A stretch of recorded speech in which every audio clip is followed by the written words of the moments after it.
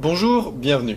Dans l'acte précédent, nous avons suivi le parcours de nos quatre personnages à travers le manoir d'Al en compagnie du mystérieux Fest. Mais ce dernier, ainsi que Salomé, avaient soudainement disparu, laissant Gédéor, Den et Félan seuls qui prirent la décision de rebrousser chemin. Malheureusement, alors qu'ils arpentaient les couloirs du manoir, les lumières s'évanouirent et le sol sous eux s'effondra. La chute fut mortelle pour Den, qui se brisa le cou. Seuls Gédéor et Félan furent épargnés. Mais peu de temps après qu'ils aient recouvert leur esprit, ils s'aperçurent qu'un monstre, un cavrou à trois têtes, se tenait devant eux. L'acte 3, nommé Piège, va raconter le périple de Gédéor et Félan qui se préparent à faire face au terrible cavrou. Le monstre se tenait là, devant Félan et Gédéor, presque inerte. Il semblait calme et passif. Les cavrous sont dépourvus de vision, d'ouïe et d'odorat. De ce fait, la bête ne savait pas que le plafond s'était dérobé devant elle, ce qui fut salutaire pour nos deux protagonistes. Les cavrous à trois têtes sont un peu différents des cavrous. En effet, outre la particularité que ces monstres disposent de trois coups partant du corps avec trois têtes remplies de crocs, les cavrous à trois têtes se tiennent sur quatre pattes, contrairement aux cavrous. Ils sont généralement un peu plus petits d'envergure, mais n'en sont pas moins très imposants. Les cavrous à trois têtes disposent d'une musculature impressionnante. Ils ont des écailles blanchâtres sur tout le corps et ont une queue pointue leur permettant d'avoir un parfait équilibre. Là où les cavrous à trois têtes sont redoutables, c'est qu'ils sont hautement agiles et peuvent bondir sur plus de 5 mètres de distance pour atteindre leur proie. Et bien entendu, les cavrous à trois têtes disposent d'une langue dans chacune de leurs gueules qu'ils peuvent dérouler sur plusieurs mètres pour sonder les alentours et ainsi repérer les potentielles victimes. Gédéor et Félan s'étaient redressés et furent comme pétrifiés, ne sachant pas quoi faire face au monstre, bien que celui-ci demeura immobile. Gédéor savait à quoi il faisait face, et il connaissait les caractéristiques des cavrous à trois têtes, mais Félan, lui, n'avait jamais croisé un tel monstre. Gédéor indiqua à Félan qu'il ne risquait rien tant qu'il ne trahissait pas leur présence et que le monstre ne les repérerait pas s'il restait prudent. Nos deux survivants décidèrent alors d'examiner l'endroit dans lequel ils avaient atterri. C'était une vaste salle, avec un haut plafond dont on percevait à peine la hauteur à cause de l'obscurité. Il y avait plusieurs piliers taillés dans la pierre, symétriquement bâtis, qui soutenaient le plafond.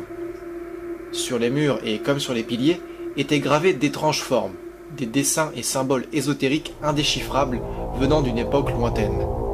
Le sol était recouvert de dalles avec différents motifs de couleurs qui avaient fortement dépeint avec le temps et étaient recouverts de poussière. Il y avait des flambeaux le long des murs qui éclairaient un peu l'endroit, mais les ombres reflétées par les piliers donnaient un aspect et une ambiance très particulière et assez terrifiante à la pièce. Et la présence du monstre à trois têtes au milieu renforçait cet aspect. Les ombres sur son corps le rendaient encore plus terrifiant et imposant.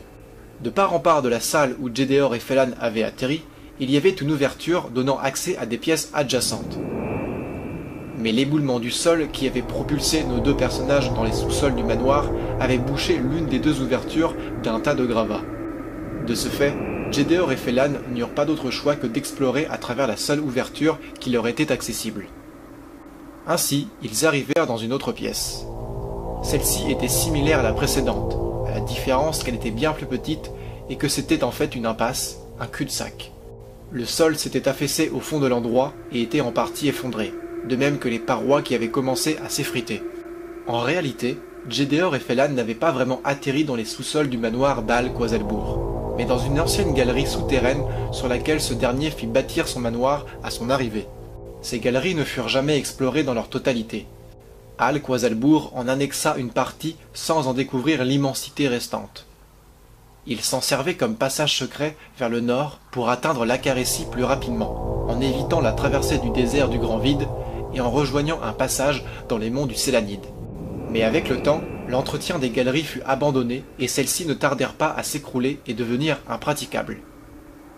Il est possible, pour les rares explorateurs qui franchissent le désert du Grand Vide, de tomber dans l'une des galeries abandonnées qui sont recouvertes par le sable et qui deviennent des pièges mortels pour les plus malchanceux. Gédéor et Félan, eux, étaient coincés, piégés. Ils se trouvaient dans une pièce sans issue, avec un cavrou à trois têtes derrière eux et un autre passage obstrué par un tas de gravats. Ils étaient inquiets et incertains.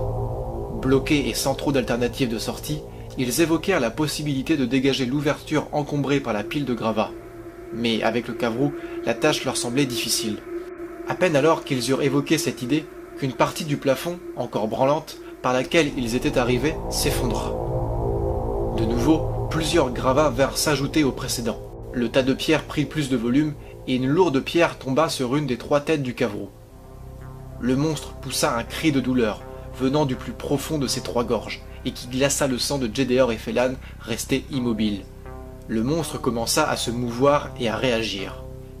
Il était dépourvu de plusieurs sens, mais il avait pressenti que quelque chose d'anormal était survenu. Il déploya alors ses trois langues du fond de sa gorge et commença à sonder les alentours. C'est ainsi que fonctionnent les cavreaux. À l'aide de leurs langues, ils examinent ce qui se trouve autour d'eux dès que quelque chose vient perturber leur immuabilité. Gédéor et Félan ne tentèrent rien et s'étaient cachés contre les murs de la pièce voisine où se trouvait le monstre. Celui-ci pouvait très bien dérouler une de ses langues dans l'autre pièce et capter la présence de nos deux survivants. En sondant les alentours, le cavrou posa sa langue sur la dépouille de Den. Le monstre fut fortement intrigué dès que ses papilles rentrèrent en contact avec le cadavre de Den. Mais rapidement, il enroula ses trois langues sur le corps et le ramena vers lui. Le cavrou commença à faire de la dépouille son prochain repas. Il exerça une forte pression avec ses langues gluantes et baveuses autour des membres de Den qu'il fit craquer avant de les dévorer dans ses trois grandes gueules remplies de crocs acérés. Gédéor et Félan assistèrent, impuissants, à la macabre scène. Le cadavre de Den fut démembré, il n'en resta bientôt plus une trace. Pendant que le cavrou était en train de dévorer de ce qui restait du cadavre de Den, Félan aperçut, sous un petit tas de pierres éboulées, une vieille armoirie qui s'était décrochée du mur. Celle-ci était dans un piteux état, mais à la grande surprise de Félan, deux lances de fer étaient encore intactes et attachées entre elles. Gédéor ne comprit pas ce que son partenaire cherchait à faire alors qu'il dégageait les pierres qui recouvraient l'armoirie. Quelques secondes après, Félan brandit les deux lances de fer qu'il venait de récupérer et Gédéor comprit aussitôt son intention. Félan se rapprocha de Gédéor et lui suggéra Avec ça, on va pouvoir transpercer ce monstre et chercher une autre issue. On aura le champ libre pour dégager les gravats qui nous barrent l'autre passage. Tiens, Gédéor, prends une lance. Je. je ne suis pas convaincu, Félan, répondit Gédéor. Ça me semble un peu dangereux. Et alors que Gédéor exposait son inquiétude à son compagnon, il aperçut, dissimulée sur quelques lourdes pierres qui s'étaient aussi écroulées du plafond, une trappe. Aussitôt, il suggéra à son tour à Félan. Regarde là-bas dit-il en pointant du doigt la trappe. On pourrait dégager ces grosses pierres en faisant levier avec ses lances et se cacher du cavrou sous cette trappe. Il y aurait peut-être même un autre passage. Pour le premier tirage de cet acte, nous allons établir ce que Gédéor et Félan décideront de faire avec leurs lances.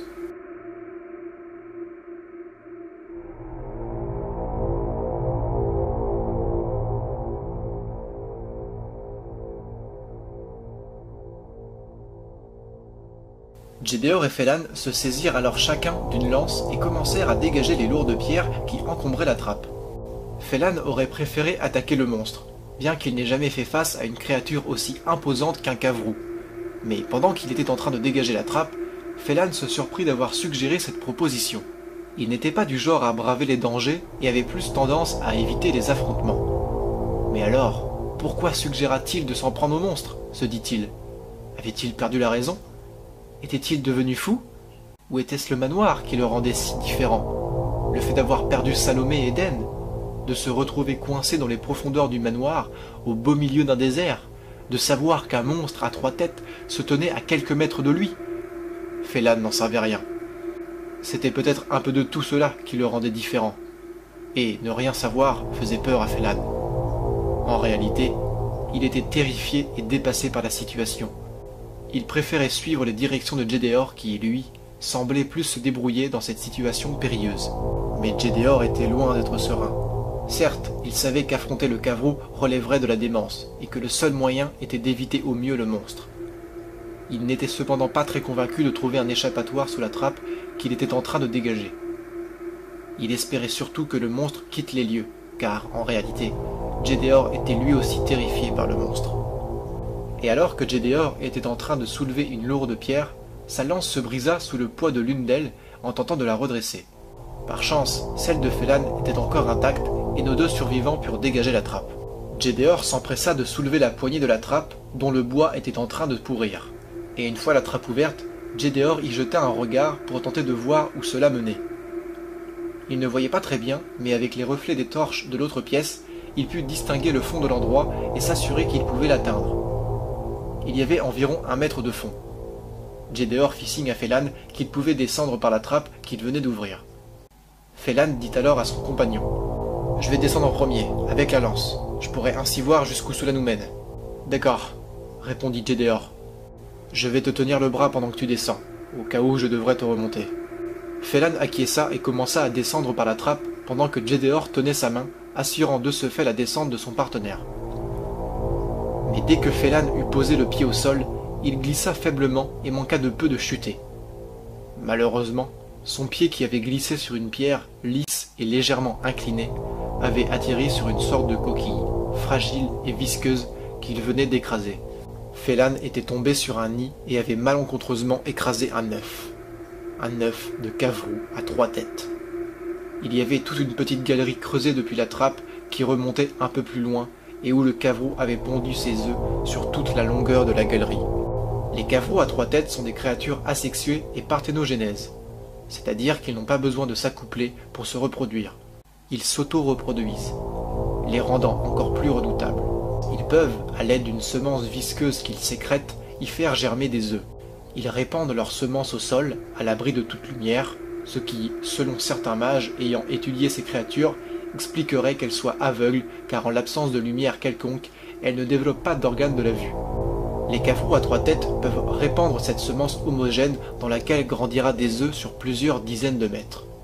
Et au bout de quelque temps, la semence se gonfle à certains endroits et se rigidifie pour former une coquille dans laquelle naîtra à maturité un nouveau-né cavrou à trois têtes. Voilà sur quoi Félan avait posé le pied.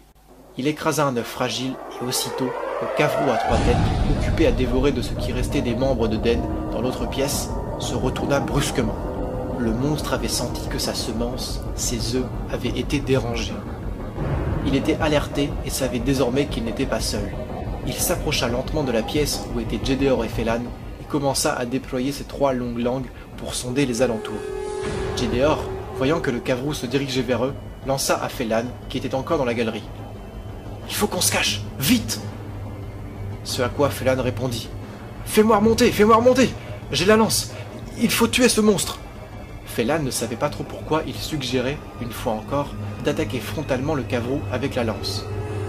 Il était dégoûté d'avoir posé le pied dans la visqueuse semence et n'avait qu'une envie, fuir ce traître lieu et en finir avec le cavrou qui les persécutait de par sa présence. C'est par un second tirage que l'on déterminera ce que Gédéor et Félan décideront de faire alors que le cavrou se dirige vers eux, sondant les coins avec ses langues.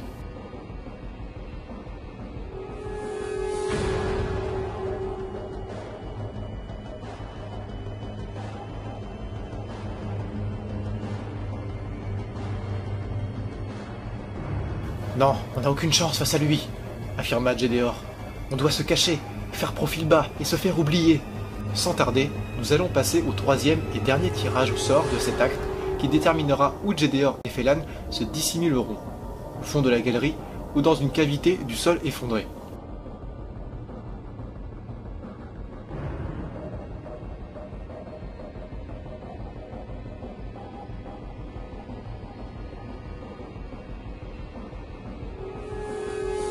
Gédéor releva alors Félan de toutes ses forces. Félan s'agrippa sur le rebord de la trappe et se hissa à l'extérieur, bien content d'avoir pu quitter le nid. Mais voyant que le cavrou venait de franchir le passage de la pièce où il se trouvait et qu'il sondait le long des murs avec ses langues, il fut, une fois de plus, terrifié. Le monstre bloquait le passage de par son imposante envergure et se trouvait à quelques mètres de Gédéor et Félan. Sans réfléchir, Gédéor tira Félan vers lui et ils se cachèrent dans un creux du fond de la pièce, là où le sol s'était effondré et où l'on pouvait se tapir. Gédéor dit alors à Félan Bon sang, qu'est-ce que t'as fait en bas? J'ai trébuché et marché sur une coquille visqueuse, une sorte d'œuf. Ça, s'étendait plus loin. Merde, si t'as marché sur un de ces œufs, le cavrou a aussitôt été alerté, rétorqua Gédéor. Dans pas longtemps, il va chercher à travers la trappe. On a bien fait de se cacher ici. Avec un peu de chance, il ne viendra pas par là. De la chance. C'était bien ce que Gédéor et Félan avaient besoin à ce moment-là. Le Cavrou atteignit alors le dessus de la trappe. Il y plongea une de ses langues et examina la galerie. Pendant plusieurs longues minutes, la créature sonda la galerie où elle y avait déversé sa semence. Gédéor et Félan étaient tapis, dans la cavité du sol effondré, silencieux, à attendre que le Cavrou s'en aille. Mais après peu de temps, le Cavrou poussa un profond et terrifiant cri. Il se redressa et, de plus belle, il se mit à sonder les murs et les recoins de la pièce. Le monstre était encore plus fougueux. Il semblait enragé et agacé. On venait de toucher à ses œufs, à sa semence, et il était bien déterminé à retrouver le responsable. Il s'agitait dans tous les sens et il ne tarda pas à se rapprocher de nos deux protagonistes. Gédéor et Félan, voyant que le Cavrou allait les atteindre dans peu de temps, se recroquevillèrent sur eux-mêmes pour tenter de se faire tout petits, pour tenter de se faire oublier. Ils avaient baissé la tête alors que le Cavrou se tenait juste au-dessus d'eux. Deux de ses langues léchaient les parois des murs et du plafond partiellement effondrés. La troisième langue du monstre se déploya en direction de la cavité et de nos deux personnages. Le sort de Jedéor et Félan était scellé. Ils étaient piégés. Tétanisés et remplis par la peur, alors qu'ils sentirent la bave du monstre juste au-dessus d'eux et que ce dernier était sur le point de les détecter. Mais alors, un éclat de bouteille contre le mur se fit entendre. Et aussitôt, le caveau ravala ses trois langues et poussa un cri. Un cri de douleur qui traduisait un mal-être et un profond dégoût. Le monstre semblait souffrir et il ne tarda pas à dégarpir les lieux. Gédéor et Félan restèrent couchés, ne savant pas ce qui venait de se produire. Puis Gédéor redressa timidement la tête pour constater que le cavrou n'était en effet plus là. Il avait cessé de sonder la pièce et s'était spontanément enfui après avoir lâché un râle de douleur. Gédéor fit signe à Félan que la voie était libre et tous deux se redressèrent, soulagés et fortement rassurés. Mais aussitôt qu'ils furent debout, qu'ils sentirent une drôle d'odeur envahir leurs narines et pénétrer leurs poumons. Rapidement, ils eurent la nausée et leur tête commença à tourner. Ils furent pris de vertige et finalement, ils chutèrent contre le mur, inconscients. Il se passa quelques minutes avant que Gédéor et Félan ne reprennent difficilement conscience. Ils étaient toujours dans l'impasse du sous-sol et adossés contre le mur. Ils ouvrirent les yeux et aperçurent devant eux la silhouette d'un homme. Eh oh, on se réveille Vous s'exclama Félan aussitôt qu'il reconnut l'homme. Balzac C'est vous Balzac Où étiez-vous passé? Du calme, Félan, du calme répondit Balzac. Vous êtes encore un peu sous l'effet de la ratrone, mais elle va vite se dissiper. La ratrone? questionna Félan. Qu'est-ce que c'est que ça? Un puissant élixir répulsif, dit Gédéor. C'est avec ça que vous avez fait fuir le cavrou, n'est-ce pas? En lui lançant une fiole à proximité. En effet, lança Balzac. Je constate que vous savez des tas de choses, Gédéor. Oui, mais ce que j'aimerais savoir, c'est qu'est-ce qui nous est arrivé exactement? Et puis, qu'est-ce que vous faites là au juste? demanda Gédéor. Eh bien, la ratrone fait aussitôt fuir le cavrou au contact de ses langues, mais il a aussi un effet inhibiteur et nauséeux sur le corps. En vous relevant, vous avez dû humer le répulsif, ce qui vous a rapidement rendu inconscient. Mais le cavrou est parti, vous êtes sauf, affirma Balzac, toujours agenouillé devant nos deux personnages légèrement groggy qui purent finalement se relever. Sauf lança Félan. Vous trouvez qu'on est sauf, là? On est au fond d'une impasse, perdu dans les sous-sols du manoir. Deux d'entre nous sont morts. Den s'est fait dévorer. Depuis que vous êtes mystérieusement parti, il nous est arrivé que des malheurs. Ce fichu manoir n'est que malédiction. Non, ne vous en faites pas, assura Balzac. Je peux vous reconduire à l'extérieur du manoir. Vous pouvez me suivre. Ça suffit, Balzac, lança Gédéor. Vous allez nous dire exactement ce qu'il se passe ici. Vous allez nous dire pourquoi vous avez disparu sur la caravane et comment vous nous avez retrouvés dans les sous-sols de ce manoir. Qu'est-ce que vous avez à voir avec ce lieu au juste? Balzac resta un instant silencieux. Il ôta son capuchon qui lui masquait partiellement le visage, laissant découvrir les traits d'un homme serein avec un regard vif. Il poussa un léger soupir et répondit Bon, ce serait bien trop long à vous expliquer maintenant mon rôle dans tout ça, mais je vous promets que je vous dirai tout en détail une fois que je vous aurai fait sortir d'ici.